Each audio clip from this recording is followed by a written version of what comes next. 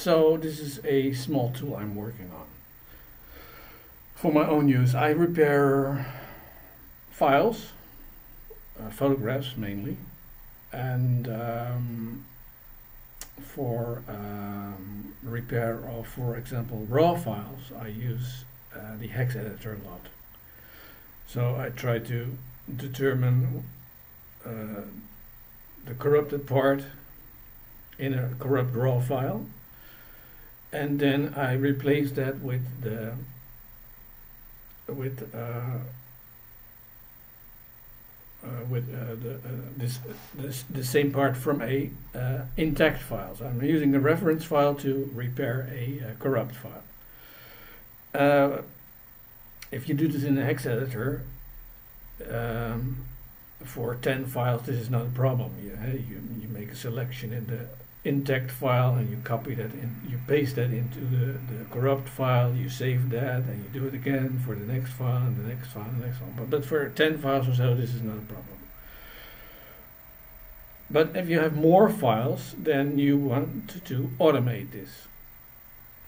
And another another thing is that um, there are many um, uh, propri proprietary raw uh, file formats. So um, I do not know the, the exact internal structure of each proprietary raw format, but it's still possible often to repair this file, uh, these corrupt files, without uh, having to know the exact internal layout.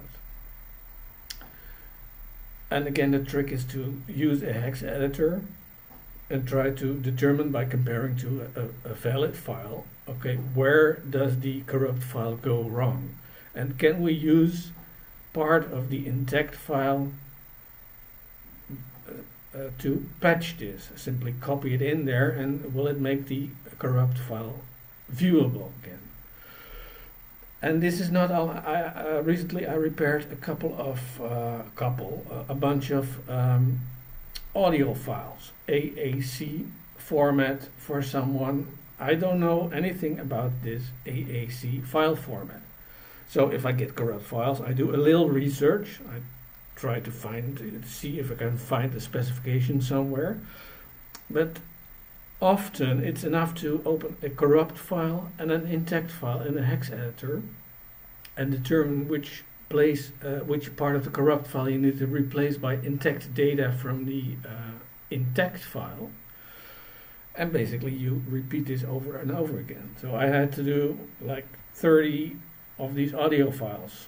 Um, so this the, the, the, the main uh, component of the uh, work involved is actually a repeating process of uh, copy and pasting healthy file from a healthy uh, healthy um, data from a healthy file into the and then copy that onto the corrupt file overriding the corrupt data. So and this corrupt data is mainly uh, header type information. So as long as the actual data is intact you can get away with a lot of you can get away with a lot. So you you as long as you have a healthy file. Now because I do this a lot and it's a lot of repetitive work I have been thinking for a while about a tool to automate this. And then I thought okay what do I do each time? And each time I do the same thing. I I, I find in the corrupt file an easy to identify byte sequence uh, that it has in common with the uh, reference file. And then the part in front of that I replace with uh, healthy data healthy data from the healthy files. And, and I do it this over and over again. So key thing is that you must identify a byte sequence that you can find in healthy data in the in the corrupt file. Yeah? and uh, this will be the point uh, um, we take as a reference and everything in front of it we copy we overwrite with a data from the intact file I, I'm not sure if I'm explaining this really right, but I will demonstrate. I have a bunch of uh, Canon RAW files here. This is a intact file. Uh, and, and RawDigger is very accepting when it comes to uh, corrupt files. So th th this is the reason I use this. This is the intact file. The rest of the files are all corrupt. And RawDigger will tell us. And this one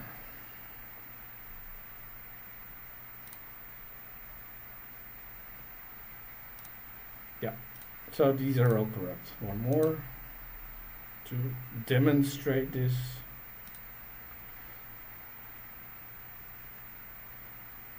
Okay.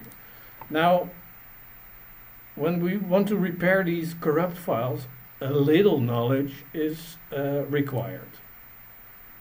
And so I happen to know that uh, the actual raw data inside a Canon RAW file is um, lossless compressed JPEG data. So what you can do is open a um, open the healthy file and we can uh, uh, try to find uh, where this uh, block of raw data starts. And uh, I know that this uh, block of raw data Uh, starts with a specific byte sequence, FF D8, FF C4. This is how the block of raw data starts. Now, it finds it one time only, and this is important because we have to get a signature or a byte sequence that is unique, so that we can, so, so we know in each file it's going to do the same thing. It's going to find that byte signature and everything that comes in front of this byte signature we're going to replace with data from an intact file. Of course, then we have to be able to find this signature in um, the corrupt files as well, otherwise we cannot use it. So we'll select a corrupt file, maybe two or three or uh, whatever we want to uh, test to feel confident that this signature will work.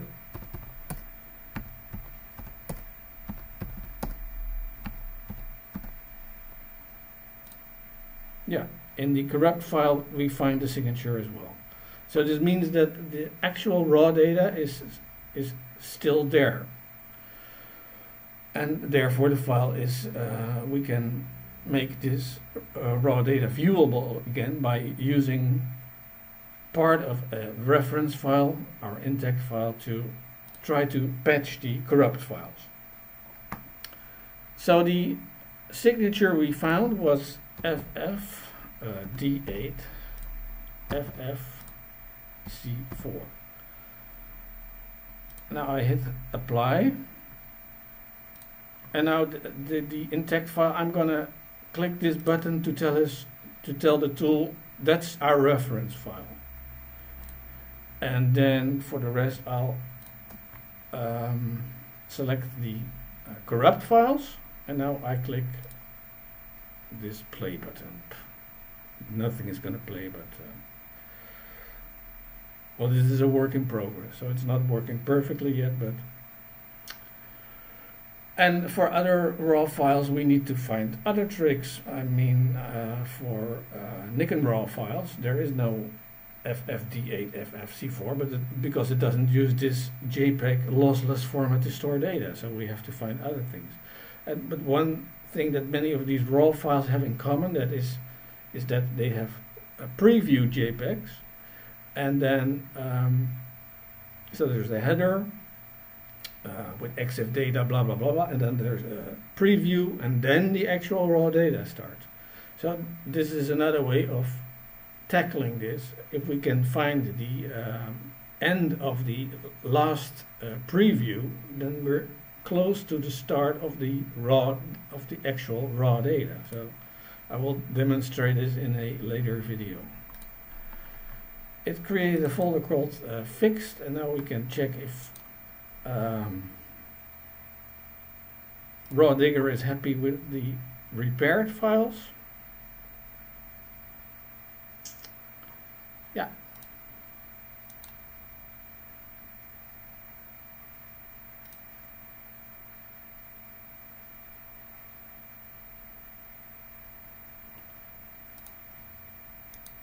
So without knowing uh, the exact uh, layout of a, of a Canon RAW file, we can still fix these RAW files.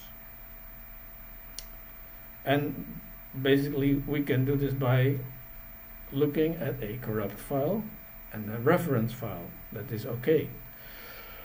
And then find a common byte sequence uh, in the intact data of the corrupt file and then we can patch the corrupt data in the corrupt file with the intact data from a reference file. And we basically just glue that together.